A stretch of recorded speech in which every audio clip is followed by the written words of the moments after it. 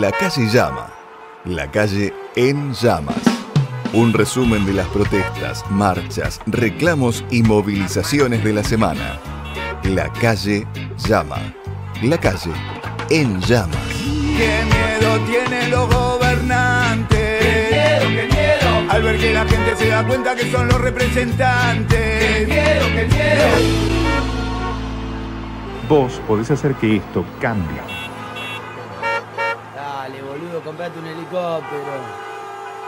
A las 0 hora del 30 comenzó el paro regional que había sido determinado por la CGT San Lorenzo hace 20 días. Hubo piquetes en cinco lugares en la ruta 11 y AO12, 11 y 18, 10 y 11 en la ribera y en el acceso centro de la ciudad de San Lorenzo. La jornada comenzó a desarrollarse masivamente y con total tranquilidad, con gran cantidad de trabajadores apostados en las rutas junto a sus familias. Lamentablemente eh, se vio interrumpida la jornada de lucha planteada por la CGT alrededor de las cuatro y media de la mañana, cuando en el acceso norte de la ciudad de San Lorenzo un camionero arremetió contra los trabajadores que estaban apostados sobre la ruta, ocasionando la muerte de uno de ellos, Jonathan Gandini, de 38 años, padre de cuatro hijos, que lamentablemente falleció en el acto.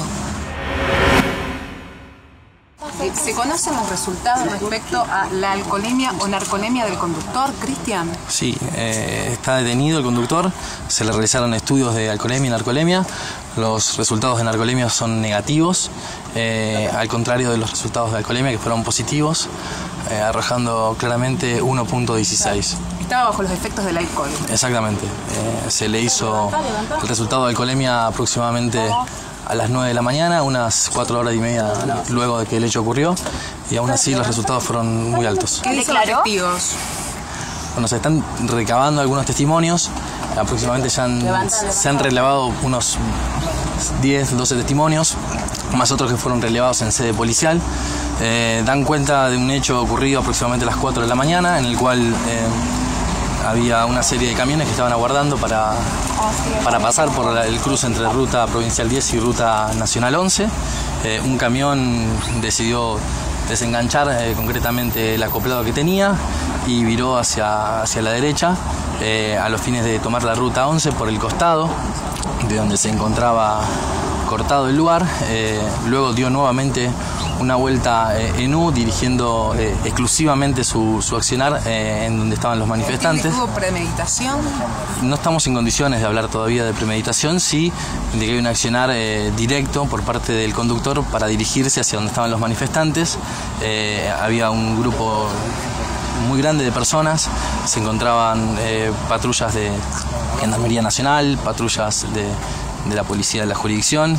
Había eh, algunas gomas que se encontraban encendidas, por lo cual digamos, la visibilidad de este grupo de personas era, era clara. No obstante, ¿Cuál va nunca. A ser la imputación? La imputación va a hacerse el día de mañana y va a ser por un homicidio simple. ¿Declaró el conductor que está detenido? Bueno, el conductor está detenido y la audiencia va a ser el día de mañana. ¿No quiso declarar? ¿No dio de, de testimonio? No ha dado mayores ¿Qué detalles. dijeron los testigos en cuanto a las amenazas previas que había hecho contra los manifestantes? Todos los testimonios son contestes y unívocos. Eh, contestes concretamente en cuanto a que este, esta persona había querido eh, pasar, ya que era uno de los primeros que estaba guardando, al, no, al no verse posibilitada digamos, su, su, su accionar, decidió desenganchar su acoplado para luego pasar por el costado de los manifestantes por ruta 11 para luego dar una nueva vuelta en U ya en dirección directa hacia donde se encontraban los, las personas, eh, en este caso alojadas en el, en el cruce, eh, nunca deteniendo su, su, su accionar. ¿Qué información nos puede dar del detenido?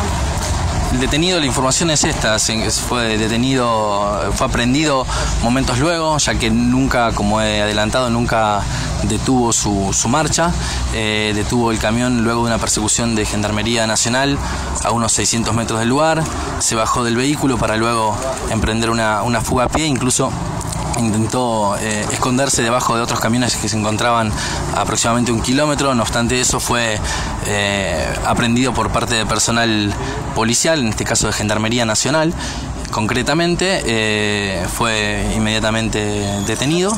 Se encuentra a disposición, en este caso, de la audiencia imputativa que va a efectivizarse el día de mañana. ¿Es una persona de la zona? Es una persona de la localidad de Rosario. ¿Se pudieron realizar sobre no tiene antecedentes penales, es una persona que tiene un empleo incluso de una, una empresa de transporte, es un camionero. ¿Se pudieron realizar pericias sobre el camión? Es un chofer, exactamente. ¿Pericias sobre el camión se pudieron realizar o se van a realizar? Se efectivizaron algunas pericias, se tomaron vistas fotográficas, no obstante aquí, digamos, lo, lo central son las, las declaraciones que, que pudieron efectivizarse de las personas que se encontraban en el lugar, atento que había un número importantísimo de personal policial que puede dar cuenta de lo sucedido, como también un número muy grande de, de- de manifestantes que se encontraban en el lugar. ¿eh? El camión. Eh, concretamente cuando este- esta persona, había dos grupos de personas, una que estaba exactamente en, en el cruce, en la intersección de la ruta 10 y la ruta 11. Eh, la gendarmería en todo momento, conforme a las declaraciones, eh, ha intentado parar a este, a este, este conductor.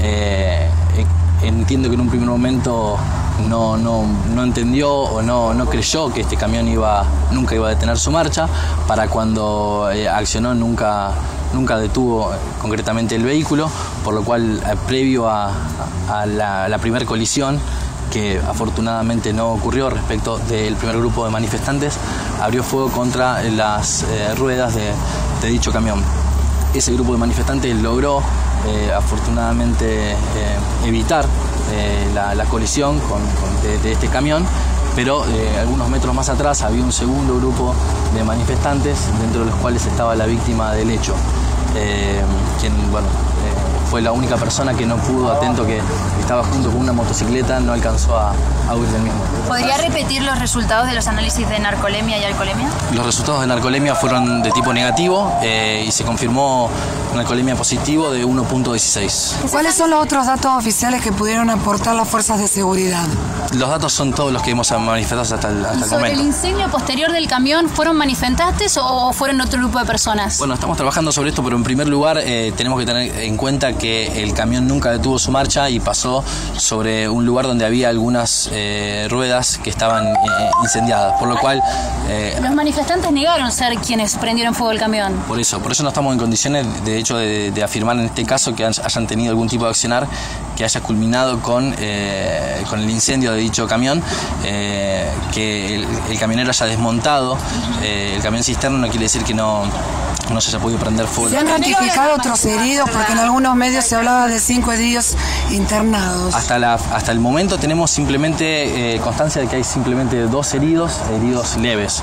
Eh, no tenemos más constancia de otros heridos, no obstante estamos relevando declaraciones. De hecho, muchas de las personas que estuvieron eh, en el lugar eh, en este momento han, han prestado declaración en sede del Ministerio Público de la Acusación. el camionero haya vuelto, haya eh, atravesado el piquete y después de más o menos media hora vuelto al lugar y atropellar a los manifestantes y matar uno, ¿es un agravante mayor para la imputación? Es una situación que estamos evaluando. Recién estamos tomando, hemos tomado algunas declaraciones testimoniales. Eh, tenemos claro que eh, del accionar de- del camionero se desprende eh, una conducta que estaba dirigida a pasar por ahí, no obstante que había avisorado eh, a los manifestantes. ¿eh? ¿Es premeditación alevosía dentro del código? No, no, todavía eh, no vamos a hablar, no vamos a hacer alusión concretamente a, a- a- a particularidades, a detalles que vamos a esbozar luego mañana en la ¿La audiencia imputativa. imputativa a qué hora será mañana? Eh, no está definida. Eh, no ¿Sigue tenemos. detenido? ¿Dónde está alojado? Sí, detenido, va, va a permanecer detenido hasta la audiencia imputativa. Respecto de- del lugar de, de alojamiento, eh, también- tampoco vamos a dar mayores detalles por una cuestión de seguridad. Atento que en un primer momento, bueno, eh, había muchísimo personal que había querido eh, arremeter contra la persona de, de este ¿La familia ha participado, se ha presentado, la mujer, aquí en la justicia han hecho algún reclamo? No, no, no, todavía no he tenido contacto con la familia de la víctima. ¿Por qué la carátula es homicidio simple? Porque no estamos en presencia de un homicidio culposo. Entendemos que hay un accionar que estaba dirigido, en este caso, a, a investir contra las personas que se encontraban en el lugar.